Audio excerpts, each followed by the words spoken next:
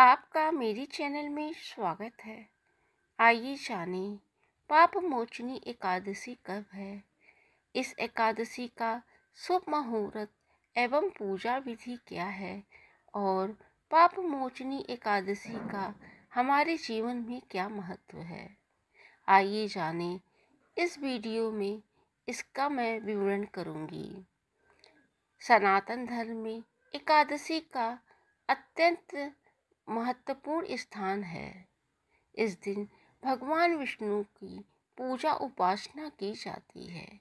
चौबीस एकादशियों में ये अंतिम एकादशी मानी जाती है और मान्यता है कि इस दिन का व्रत करने से मनुष्य अपने संपूर्ण पापों से मुक्ति पा जाता है और साथ ही साथ सुख समृद्धि भी प्राप्त करता है, मनोवांछित फल की प्राप्ति करता है।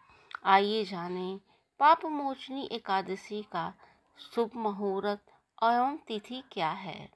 पाप मोचनी एकादशी शनिवार 18 मार्च 2023 को है।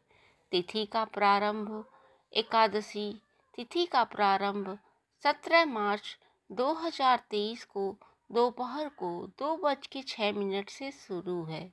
एकादशी तिथि का समाप्त 18 मार्च 2023 को सुबह ग्यारह बज के तेरह मिनट तक रहेगा। व्रत का पारण का समय 19 मार्च सुबह छः बज के पच्चीस मिनट से आठ बज के सात मिनट तक रहेगा। पाप मोचिनी एकादशी का क्या महत्व है? आइए जाने। पुराण के अनुसार एकादशी को भगवान विष्णु का ही स्वरूप माना गया है। माना जाता है, इस दिन व्रत रखने से सांसारिक सुखों को भोगने के साथ साथ मृत्यु के बाद वैकुंठ धाम की प्राप्ति होती है। साथ ही संसार में उसको सारे सुख वैभव की प्राप्ति होती है। पाप मोचनी एकादशी के दिन व्रत रखने से ब्रह्म हत्या, चोरी, सुरापान जैसे पापों से मुक्ति मिल जाती है। आइए जाने, एकादशी का पूजन किस प्रकार करें जिससे पूजन का, भगवान विष्णु के व्रत का पूर्ण फल प्राप्त हो? एकादशी के दिन ब्रह्म मुहूर्त में उठकर सभी कार्यों से निवृत्त होने के बाद स्नान कर लें। स्नान करने के बाद भगवान विष्णु को सामने संकल्प लें। इसके बाद पूजन आरंभ करें।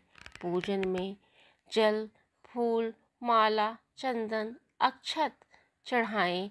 इसके बाद तुलसी दल, केला और मिष्ठान का भोग लगाएँ। घी का दीपक धूप जला लें। फिर कथा कहें और सुनाएँ। कथा कहने के बाद घी की दीपक से या कपूर से भगवान विष्णु का आरती करें। आरती करने के बाद दिन भर भगवान विष्णु का मन ही मन मंत्रों का जाप करते रहें। द्वादशी के दिन पुनः पूजा करें। पूजा करने के बाद सामर्थ्यानुसार आप ब्राह्मणों को दान दें। दान देने के बाद आप इस व्रत को खोल सकते हैं।